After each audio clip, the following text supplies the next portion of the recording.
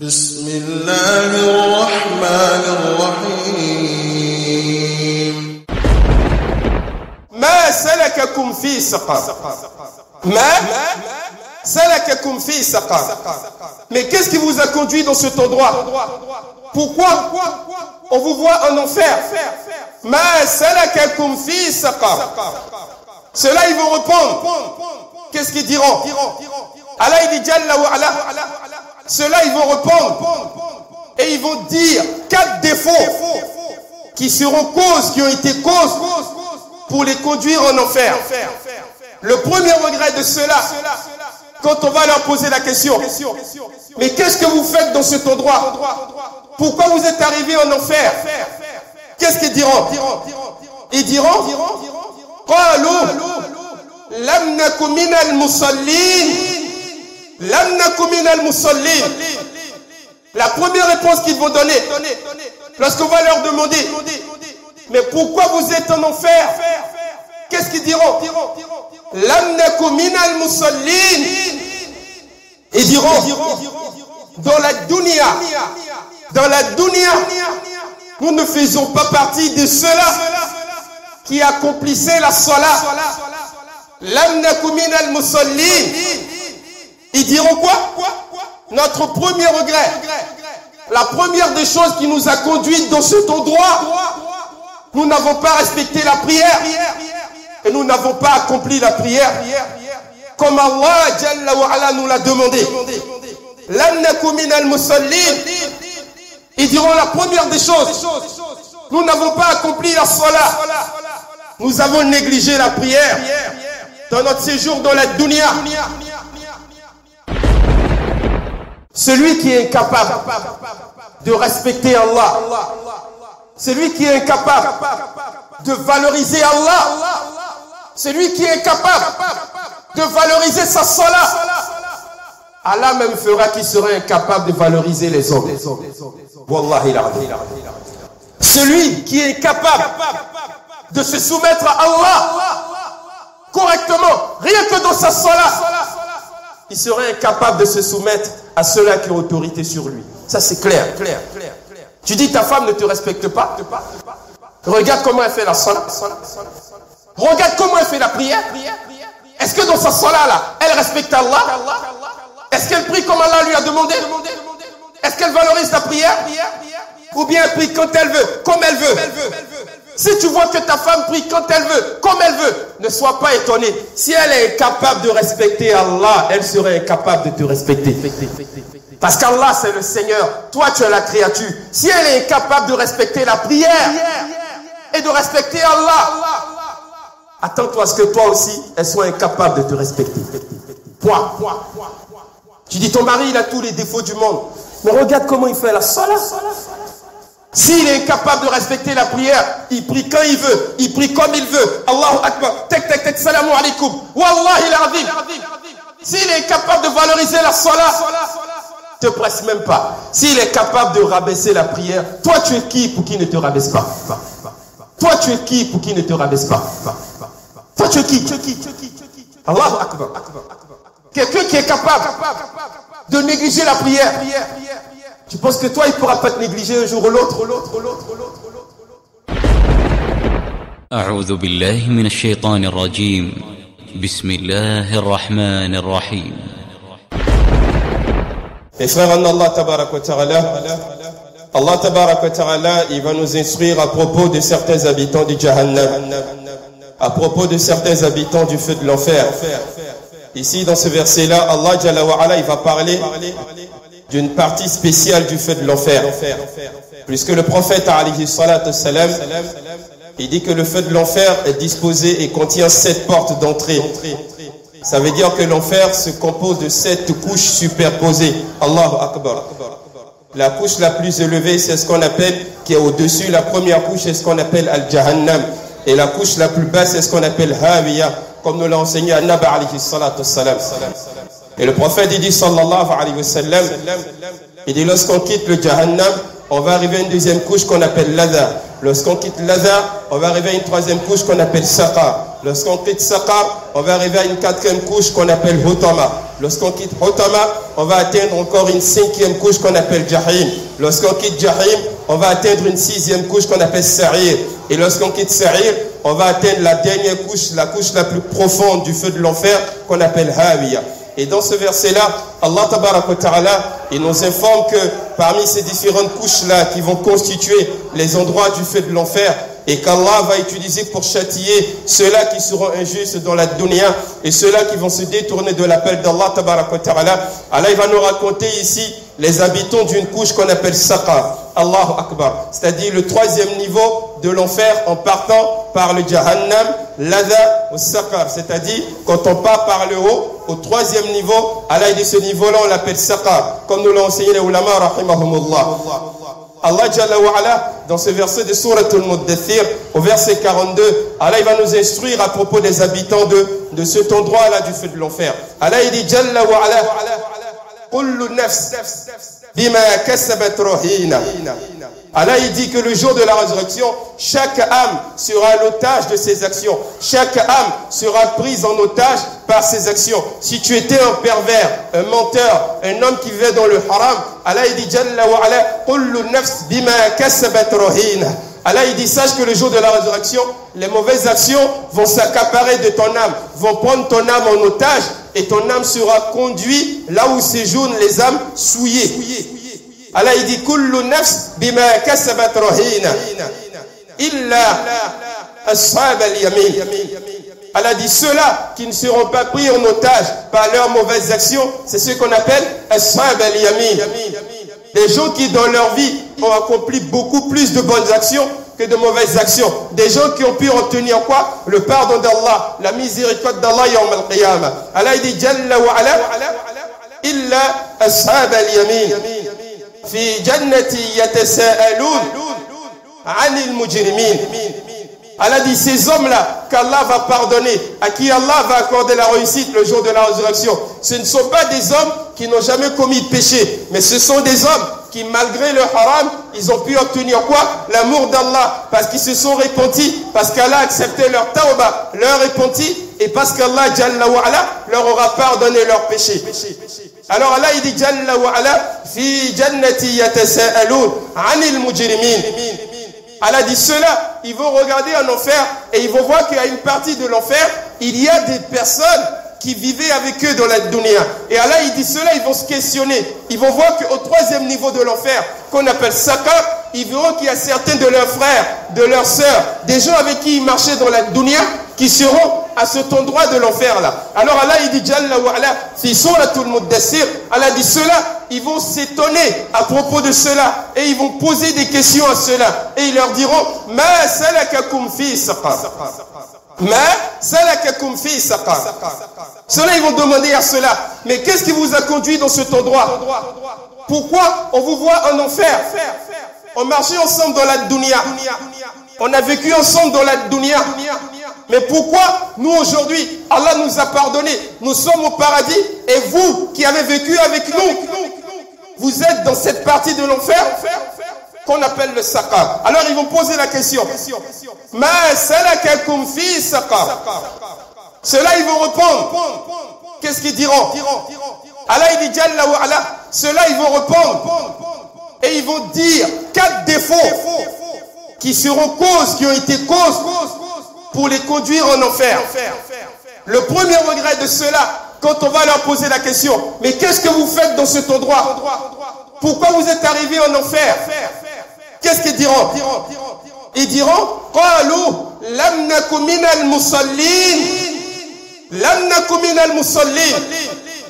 La première réponse qu'ils vont donner, lorsqu'on va leur demander, mais pourquoi vous êtes en enfer? Qu'est-ce qu'ils diront Ils diront, dans la dunya, dans la dunya, nous ne faisons pas partie de ceux-là qui accomplissait la salat, ils diront quoi? Notre premier regret, la première des choses qui nous a conduits dans cet endroit, nous n'avons pas respecté la prière et nous n'avons pas accompli la prière comme Allah nous l'a demandé.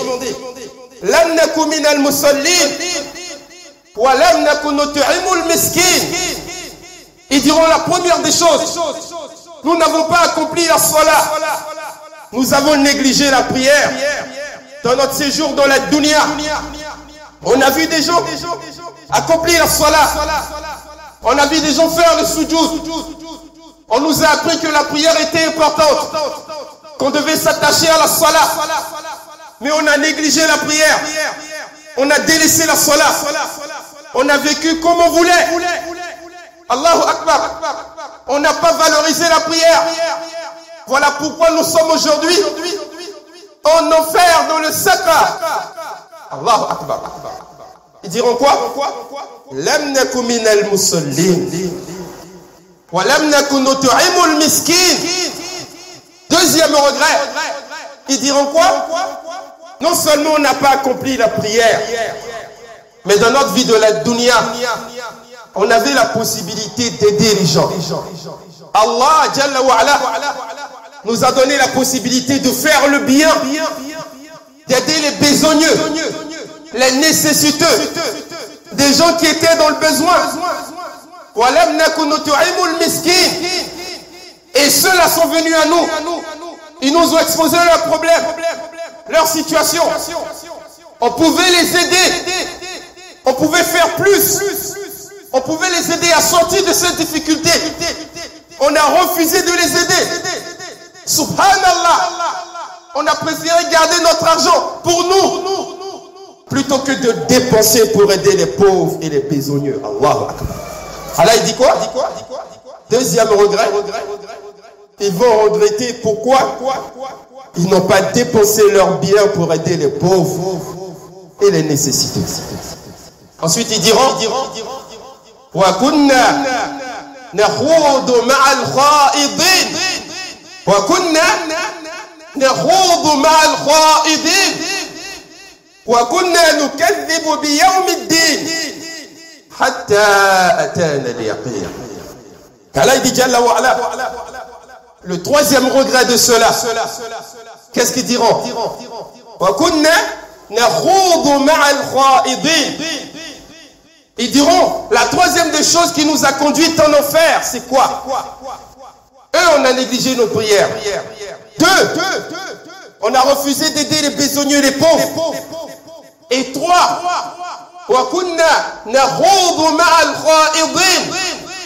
et diront trois, on s'associait à des gens qui tenaient des conversations futiles. Des gens qui racontaient n'importe quoi. Des gens qui avaient des discussions bidons.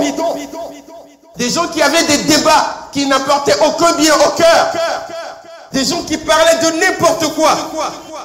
Des sujets les plus bidons de la dunya. Des gens qui perdaient leur temps au bavardage à parler des choses inutiles. Des gens qui acceptaient de parler de n'importe quoi. Ils diront, nous sommes en enfer parce qu'on s'associe à cela. Et tout comme eux, on participait à des conversations futiles. On parlait des choses qui ne nous apportaient rien. Et ceux-là, ils diront, et nous avons vécu dans la dunya comme si le jour de la résurrection n'existait pas. Nous avons négligé le jour de la résurrection. Nous avons oublié ce jour-là. On vivait comme si on allait vivre éternellement. Allah Mes frères Allah, analysons un tout petit peu ces paroles d'Allah. Allah dit ceux-là qui vont habiter le sakar, le feu de l'enfer. Lorsque les croyants seront au paradis, lorsqu'on va questionner ceux-là et qu'on va leur demander qu'est-ce qui vous a conduit dans cet endroit? Pourquoi vous êtes aujourd'hui en enfer? Allah dit que le premier regret de cela sera orienté vers la prière. Allah dit La prière sera la première des choses que ceux-là ils vont regretter dans leur vie.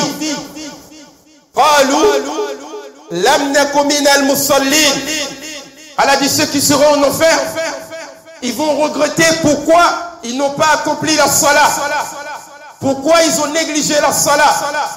Pourquoi ils ont abandonné la salat mes frères Allah Quelle valeur avons-nous donné à la salat aujourd'hui? Wallahi. Quelle valeur nous avons donné à la prière? Quelle valeur avons-nous donné à la salat dans notre vie de tous les jours? La question que je pose, c'est pas est-ce que vous priez? La question que je pose, c'est quelle valeur as-tu donné à la salat? C'est ça la question. Parce qu'Allah il dit que le premier regret de cela, Yawm al-Qiyamah, ceux qui vont entrer en enfer, c'est vrai, ils ont forniqué, ils ont menti, ils ont commis beaucoup de désordres. Mais leur premier regret va se retourner vers quoi? Vers la salat, vers la prière. La question qu'on doit se poser, c'est pas est-ce que je prie? C'est pas ça la question. Parce que vraiment, moi, j'insiste dessus. L'objectif, c'est pas juste d'accomplir la prière. La question qu'on doit se poser, c'est quelle valeur j'ai donnée à la salat. Quelle valeur j'ai donnée à ma prière?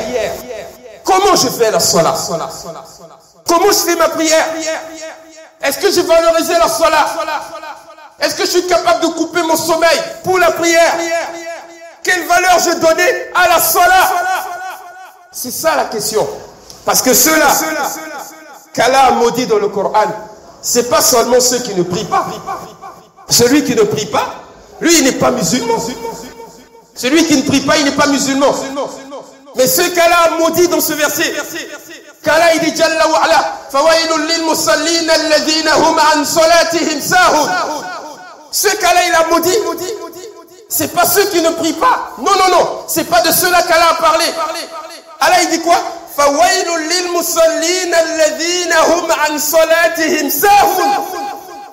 Allah dit que la malédiction d'Allah tombe sur ceux qui prient et qui négligent la prière. Allah ne parle pas de ceux qui ne prient pas. Allah parle de ceux qui ne valorisent pas la salat. Allahu Akbar. Ça veut dire quoi? Le plus gros problème, le plus gros piège que le shaitan, ta'ala alayhi, va tendre à cette communauté. Écoutez très bien. Beaucoup de personnes vont échouer. Yawm al à cause de cela. C'est pas qu'ils n'ont pas prié, mais comment ils ont fait la prière? Wallah a Tu pries comment? Tu pries comment? Comment tu fais la salat? Quand tu te tiens debout devant Allah, comment tu pries? Quelle valeur tu donnes à la salat? Comment tu récites le Coran? Est-ce que tu médites là-dessus? Est-ce que tu comprends le Coran? Comment tu évoques Allah? Est-ce que tu comprends au minimum ce que tu dis dans la prière? Ça fait combien d'années que tu pries? Combien d'années que tu fais la salat Est-ce que tu comprends au moins ce que tu dis dans la prière? Quand tu as prié derrière l'imam là, que l'imam a récité tel ou tel surat, est-ce que tu as compris un tout petit peu ce que l'imam il a accompli dans la salat? Si tu n'as pas compris, pourquoi tu te donnes pas la peine d'apprendre pour que la prière ait de la valeur dans ta vie? Quelle valeur nous donnons à la salat? Tu pries comment? Aujourd'hui, on se plaint de beaucoup de maladies dans la communauté. Nos enfants prennent la drogue. Nos filles ne portent pas le hijab. Il y a beaucoup de fornicateurs. On se plaint de beaucoup de situations. Nos enfants, subhanallah, vivent dans le haram. On se pose beaucoup de questions. Mais la solution à toutes ces maladies, c'est quoi? C'est la salat.